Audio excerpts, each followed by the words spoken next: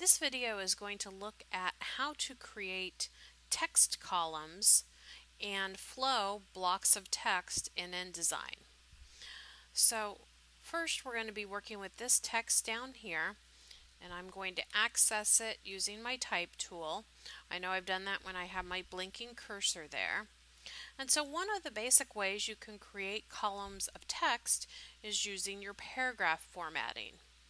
And I've just pulled my control bar down here so we have it kind of close to the block of text we're working with.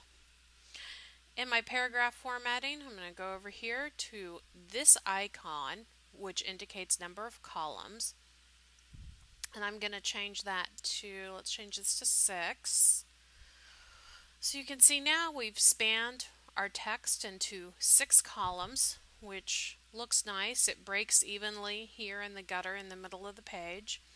Um, we could also adjust our space between columns if that was something that our style guide indicated, uh, making those smaller or larger, just depending on our style guide. Playing with the gutter between the columns can be an interesting thing to design with. Um, default is one pica, that's a good general look for text. The second way you can work with text, and I'm going to take our column back to 1, is to manually do it using your column guides for the document. Now for this document we've actually have not set up column guides so if we wanted to do that at this point we go out to layout, margins and columns and then we're going to set our number of columns at 3. It's important to note that this number is per page. So I want 3 per page. And hit OK.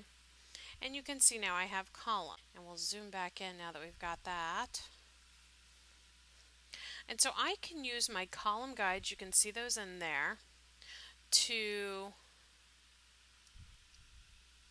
flow my text. So I click my red plus mark and I can either click down or I can click and draw, which draws it specifically where you want it.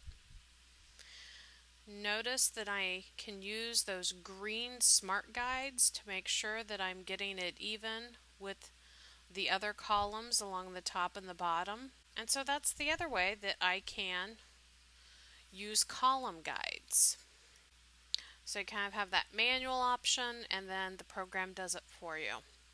So that is how you create column guides.